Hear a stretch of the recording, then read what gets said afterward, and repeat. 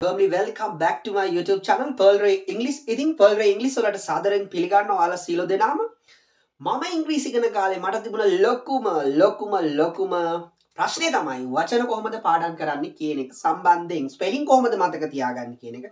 ඉතින් මං හිතනවා මට වගේම ඉංග්‍රීසි මූලිකව ඉංග්‍රීසි ඉගෙනගෙන යන හැමෝටම මේක ගැටලුවක් වෙන්න ඇති කියලා. ඉතින් මං ඒකට විසඳුම් හොය හොය යනවා. අන්න ඒකට තවත් විසඳුමක් මං කලින් කරපු වීඩියෝයේ දිගුවක් විදිහට තමයි මේක අරගෙන ආවේ. ගොඩක් අයට තියෙන හෙඩේක් එකක් තමයි irregular list එක මතක තියාගන්න එක ස්පෙලිං මතක තියාගන්න එක. ඉතින් ඔන්න කලින් වීඩියෝ එකක් කරා OUGHT එකතු කරලා අපිට regular එකක් වගේම සමහර ක්‍රියාපද සමහර irregular ක්‍රියාපද අපිට මතක තියාගන්න පුළුවන්. ඉතින් අද T අකුරකට එකතු කරලා T අකුරකට එකතු කරලා අපිට පුළුවන්කම තියෙනවා මෙන්න මේ බෝඩ් එකේ දීලා තියෙන වචන ලිස්ට් එක මොනා කරගන්නද රෙගියුලර් verb එකක් විදියට මතක තියාගන්න. හොඳයි අපි බලමු කොහොමද මේක වෙලා තියෙන්නේ කියලා. බලන්නකො මෙතන තියෙනවා දැන්ටමත් මම වචන ටිකක් බෝඩ් එකේ දාලා නීල් කියලා කියන්නේ අපි දන ගහනවා. ඕකේ ඊළඟට keep කියලා කියන්නේ තබා ගන්නවා ආරක්ෂා කරනවා then sleep නිදා ගන්නවා. ඕකේ. then weep කඳුළු සලනවා නේද? then creep බඩ ගාගෙන යනවා. feel දැනෙනවා හැගෙනවා. bend නමනවා. spill පිටාරේ ගලනවා. ඊරෙනවා. then බිල්ට් ගොඩනගෙනවා දැන් සෙන් යවනවා. ස්පෙන් ගත කරනවා වියදම් කරනටත් අපි ස්පෙන් කියලම තමයි කියන්න. දැන් මීන් අදහස් කරනවා ස්මෙල් ගඳ සුවඳ ආග්‍රහණය කරනවා බර්න් පුච්චනවා දැන් ඩ්‍රීම් හීන දකිනවා. හීන දකිනවා. ලීප් ලීප් කියල කියන්නේ පැන පැන යනවා. ඕකේ ඉළඟට ලර්න් ඉගෙන ගන්නවා දීල් ගණු දෙනු කරනවා.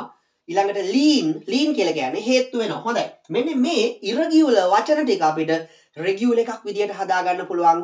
මේ ක්‍රියාපදයකට ටී එකතු කරලා බලන්න. හරි kneel knelt knelt then keep kept kept. Sleep slept slept. Weep wept wept. Creep crept crept. Feel felt felt. බලන්න මොකද උනේ මෙන්න මෙතන තිබුණ ඩබල් E සිංගල් E එකක් බවට පත් වෙලා සිංගල් E එකක් බවට පත් වෙලා අගට T එකක් එකතු වුණා. බලන්න kneel knelt, knelt, then keep, kept, kept, sleep, slept, slept, weep, wept, wept, then creep, crept, crept, feel, felt, felt. ඔයාලට පේන්නේ නැති වෙනස අර මැද තිබුණ ඩබල් E සිංගල් E එකක් බවට පරිවර්තනය වෙලා අගට T අකුර එකතු වෙලා අතීතය සහ අතීත කෘදන්තේ past and past participle එක ක්‍රියේට් කරගත්තා. ඕකේ. එහෙනම් මේ ටික එහෙනම් මේ දිගේ තියෙන මේ අග තියෙන අකුර මොනා කරනවද?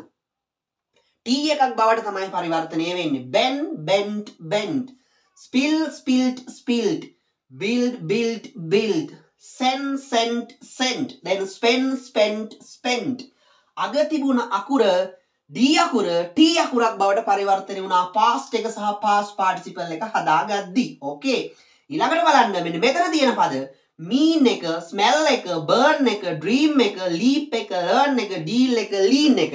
මේකේ අගට ටී අකුරක් එකතු වුණා. අර අකුරු ටික එහෙමම තියෙද්දි ටී අකුරක් එකතු වුණා. හරි බලන්න. මෙතන තියෙනවා මීන් මීන්ඩ් මීන්ඩ් මෙන්න මෙතන විතරක්. ස්මෙල් කියන එකේදී විතරක් අග තිබුණ ඩබල් එල් වෙනුවට එක එල් එකක්. එහෙමම දීද්දි අනිත් එල් එක වෙනුවට ටී එකක් එකතු වුණා පාස්ට් එක සහ පාස් පාටිසිපල් හදද්දි. බට අනිත් ඔක්කොම මේ වගේ අගට ඩී අකුර ටී අකුර තමයි එකතු වෙලා තියෙන්නේ. බර්න්ඩ් ඩ්‍රීම්ඩ් ලීප්ඩ් ඩීල්ඩ් ඩෙල්ට් කියලා අපි ප්‍රනවුන්ස් කරනවා then ලීන්ඩ් හරි. මේකත් එහෙම තමයි. බර්න්ඩ් ඩ්‍රීම්ඩ් ලීප්ඩ් ඩෙල්ට් then ලීන්ඩ් ඕකේ ඔයාලට පැහැදිලි ඇති එහෙනම් ටී අකුර එකතු කරලා අපිට මෙන්න මේ රටාව මතක තියාගත්තොත් ටී අකුර එකතු කරලා ඉරගියුල මෙන්න මේ ඉරගියුල වචන ටික අපිට රෙගියුල එකක් විදියට මතක තියාගන්න පුළුවන්. ඉතින් මං හිතනවා ඔයාලට මේක වැදගත් වෙයි කියලා. සෝ ඉතින් මේක වැදගත් වෙනවා නම් ඔයාලගේ අයිඩියා කමෙන්ට් කරගෙන යන්න අමතක කරන්නත් එපා. අනිවාර්යෙන්ම මේක තවත් කෙනෙකුට බලන්න ෂෙයා කරන්නත් අමතක කරන්න එපා. අපි මේ වගේම තවත් වීඩියෝ තුලින් හම්බෙමු ඔයාලගේ ඉංග්‍රීසි දැනුම වර්ධනය කරන්න උදව් වෙන මේ වගේම පාඩම් මාලාවක් එක්ක. so goodbye you all.